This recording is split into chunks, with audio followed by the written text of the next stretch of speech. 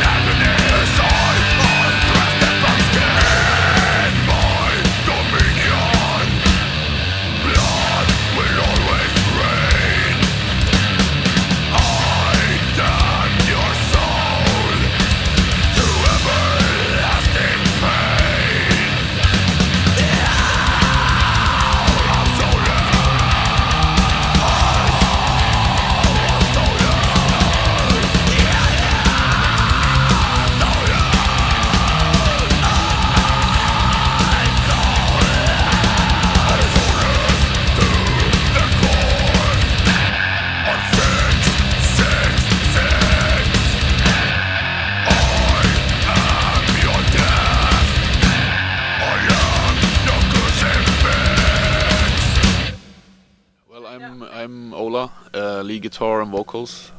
Uh, we started back in '88 as as Grave. Had a couple of bands before that, and uh, our first album came out in '91. And we've been doing nine albums since then, pretty much, and pretty much consistently uh, recording albums and touring, except for a couple of years in the late '90s where we didn't really do anything musically.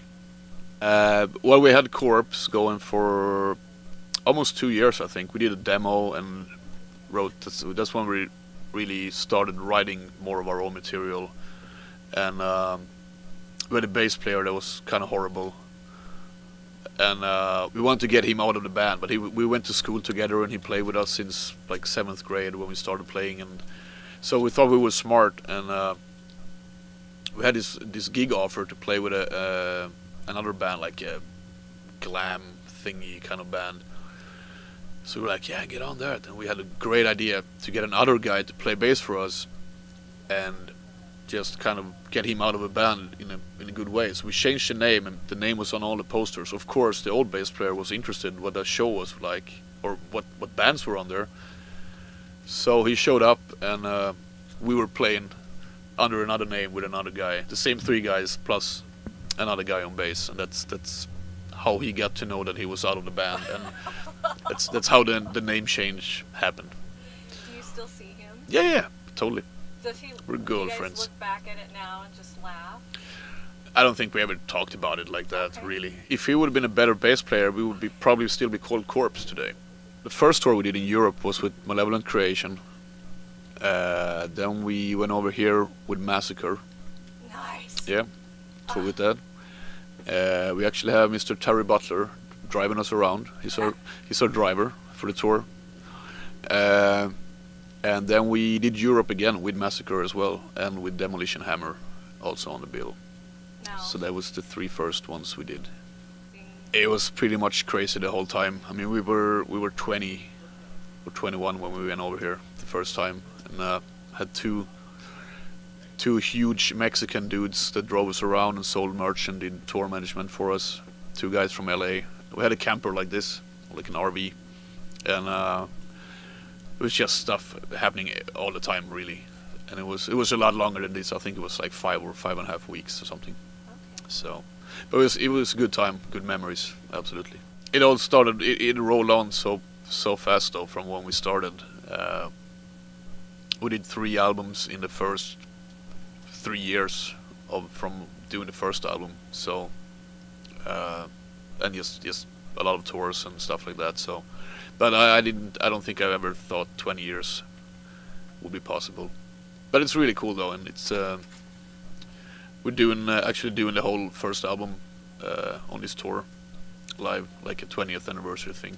Nice. And uh, we did it in Europe over the summer for festivals, and it worked out really good. So we just thought we'd bring it over here as well. Sweet. Yep, and people seem to enjoy it. So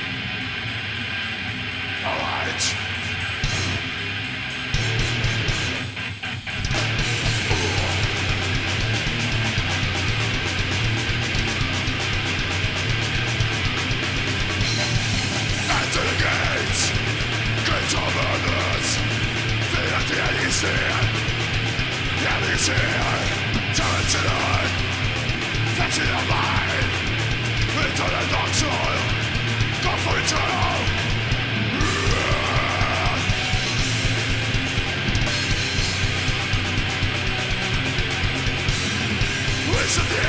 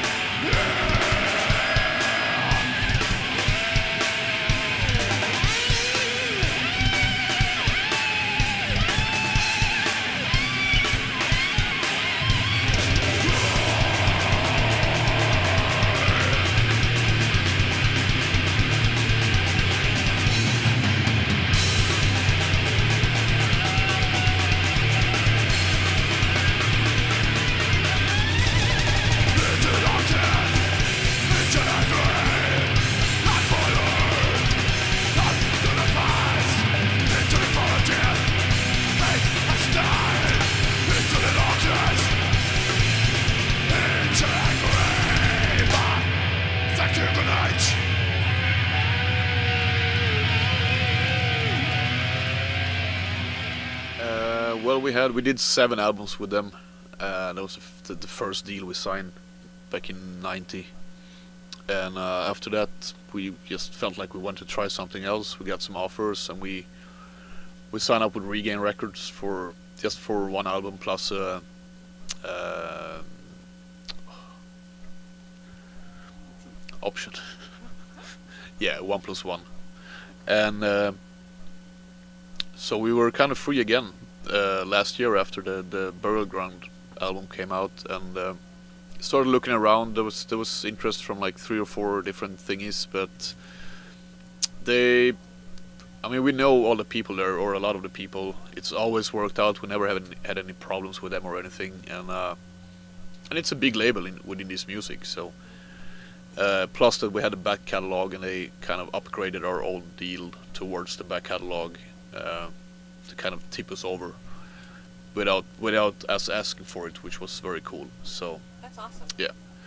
So uh, it wasn't really wasn't really a, it was a no-brainer really to to get back with them.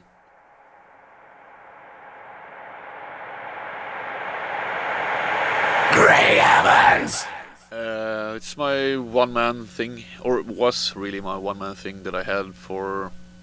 Uh, I guess when we were writing stuff for the latest album, I had a lot of stuff that riffs and ideas that I had that, that really didn't fit at all in Grave, and I just recorded stuff and saved it, and then later on that year, I just figured I'd try to put something together, and I did a three-song demo, or like a promo thing, and uh, put it online and sent it out, and people really seemed to like it, and um, it's been kind of quiet the past year, I'd say, because we've been doing so much with Grave. Uh, And Red Screen. and Red Scream. But uh, I got I got a couple, two or three more songs written, and uh, I always wanted to record those three first songs with a with a real drummer because I did everything with programmed drums, and then I did the vocals, bass, and guitar myself. And I just acquired uh, Norman Lonhard from Triptykon, which is gonna come up to Stockholm sometime later this year and uh, re-record those the, the demo tracks and maybe some of the new stuff with me. So I'm really happy with that. It was just uh, we toured with Obituary in Europe in April this year, and uh, just had a lot of fun, a lot of late nights drinking and talking about that. And we always seem to listen to the same kind of stuff. Like all the party nights, we listen to like old Scorpions and Mot- Journey. Motley Crue, Journey, of course, Ratt, and like all the old, the old good '80s stuff. We were singing Lionel Richie outside. Oh yeah. yeah. yeah, but there's so much good music, and all the bands today are seem seeming to be like either super extreme, or if they're doing anything like hard rock or metal, it's like glam, total glam style, and there's really nothing in between there that keeps the like the heritage of the old good that that I think every metal band is inspired from, like from the beginning. And uh, we talked about it like many nights, and we came up with the name and everything then Ralph came over to to Stockholm to stay with me after uh, he did a European tour with Deicide. He came over after that, stayed in Stockholm for five weeks, and uh, we wrote four songs within that period. Uh, so we have yeah we have four four complete songs and uh, just got a, a ton of more ideas. He's coming back now in October to stay in a, uh, another month and uh, to finish up some more songs and uh, Who takes care of shop for a singer. It's been good. I mean, we we started in Tampa, went up the East Coast into Canada, back into the US, did like four more shows, then into Canada again, did five shows going west from uh, Winnipeg, I think, over to Vancouver, came out to Seattle yesterday, and now it's just another week left, not even that, for for the West Coast. So it's been going really, really, really fast, and uh, it's gonna be weird next week when we do the last show on the Thursday. I think it's gonna be really weird too. Do you guys have any special plans for the last show, or Uh, not really. I don't think so. We might we might do some stuff in LA. We talked about it today. Throw in because we have Trevor Peres is our tour manager from Obituary. Terry Butler's driving us around, Ralph is here. He came to Seattle yesterday just to hang out the last week. So we'll probably do in LA. I think we're gonna do uh, like one or two maybe obituary songs in the set with those three guys, me on vocals and Ronnie on drums. Nice. Just some special things. So That's awesome. yeah, so I hope we'll, we'll we can kick that off.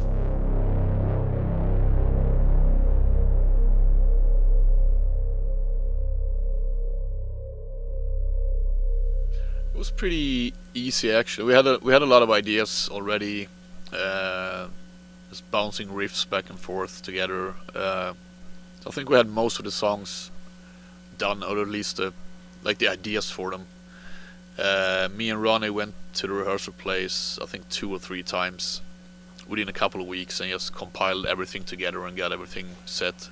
And we we bought our own stuff, so we have uh, everything set up for recording at our rehearsal place. So we did the whole thing there by ourselves. Nice. Yep, start pistolen. Yep. Star Pistol. Yep. What is the book about? How did you get involved? It's uh, it came out it, like it's I'd say at least 15 years ago, I think. Uh, Swedish uh, writer who wrote it. It's it's totally fictional, but he throws in a lot of stuff that he's seen or whatever. Apparently, we're in there. Uh, he was going home on a, on a subway in Stockholm late one like Friday or Saturday night, and uh, we were on the same subway as he was. Excuse me. Uh, and he had heard us talking. We were talking to some other people and talking about our band, and he picked that up and put that in the book actually. Oh, cool. So, which is very cool. I just read that part though. I haven't read the whole thing. I think some fictional story about just something, whatever going on in Stockholm, Okay. and uh, I think he threw that in there, like things that he kind of personally experienced and Okay. Yeah. That's cool. So there's there's a story about when he's going home one night, or the actual character in the book, and he's on the subway, and there's a bunch of of long-haired dudes in leather jackets screaming around and bragging about their band called Grave, and it's actually in the book.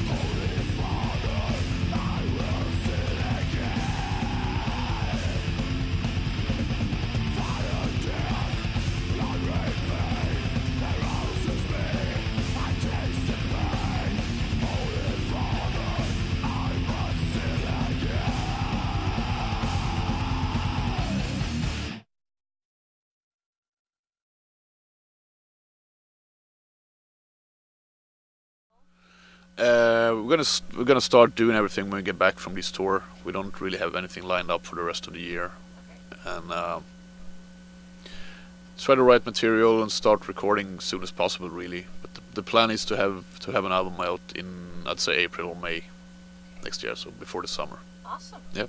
That's a pretty. That's a pretty. Is that a short time? It Yeah. seems like it's a short time. Yeah. So you're gonna be hauling ass. But we did the, the latest album we did in in about well not even that time. I think we did it from well I think we started in November putting all the stuff together and we recorded in I think everything was done in April Damn. the whole thing so yeah a lot of Triptykon actually uh, Kraft Swedish black metal band they put out a new album like a month ago really good stuff uh, other than that it's No Lady Gaga. Or No, K- Katy, a lot of Katy Perry. You like Katy yeah, Perry. Katy Perry and Pink. Pink, I like her. Pink as well. Feisty. Oh, yeah. I like that in her. I Mm-mm. like that in her. Yeah, Katy Perry and Pink. Um, I blame Coco. If you heard that, it's it's Sting's daughter, actually. I love Sting. Yeah. So. It's his daughter. It's called the band's called I blame Coco because she's called Coco. Uh-huh. Killer stuff. But other than that, it's just like old stuff. Just like, oh, I want to hear fucking Worldwide Live with Scorpions. Like, put that on every time we get drunk. That's awesome. So yeah.